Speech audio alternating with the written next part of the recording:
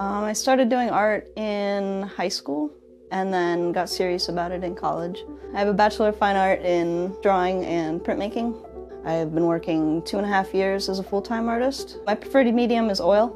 I think it has a, a nice buttery texture to it that remain, remains timeless. I do mostly realism with a little bit of impressionism. I don't like it to look just like a photo. If I wanted a photo, I would take a photo, and that's tedious. A few different artists come to mind, uh, Caravaggio, Rembrandt. I like the old masters and their, their compositions, their techniques, their shapes, their form, um, and it's, it's, and it's got an iconographic type of look to it.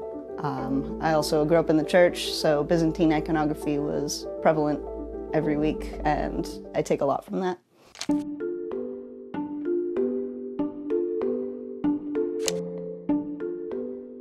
I start with at least a couple weeks of drawing and, and just notes, actually, not even drawing, but just notes. And then I go in and do an imprimatura, which is just a, a layer of either burnt sienna or raw sienna or something neutral, and then let that dry.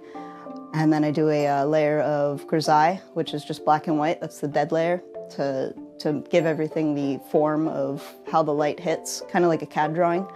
And then I do two or three layers of color to really bring the form out and really exhibit what I'm looking to exhibit.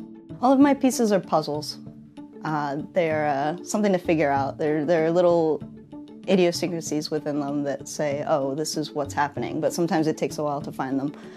It's uh, a lot of symbolism in my work that I like people to get the message without there being words to get them across.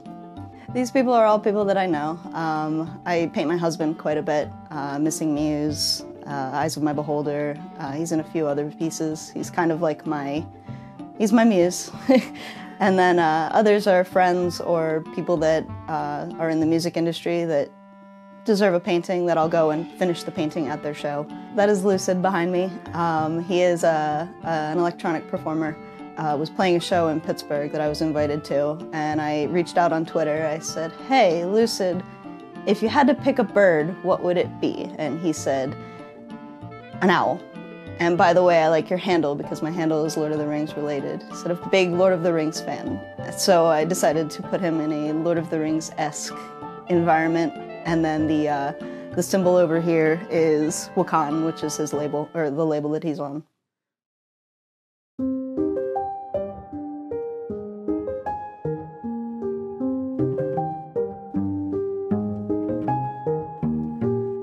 When people look at my work, I just want them to think. It might not be about something specific, but I just want them to think about their existence, their life, their daily routine, their, you know, even something as simple as brushing your teeth taking a shower. Like, you're doing something. And just be mindful of the people around you and how they have such a different life, but it's all the same. Not the same experience, but it is the same in a way.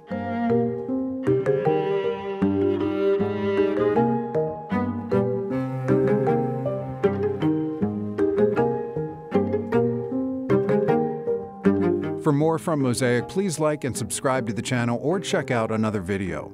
To help support this project, please visit witf.org/mosaic.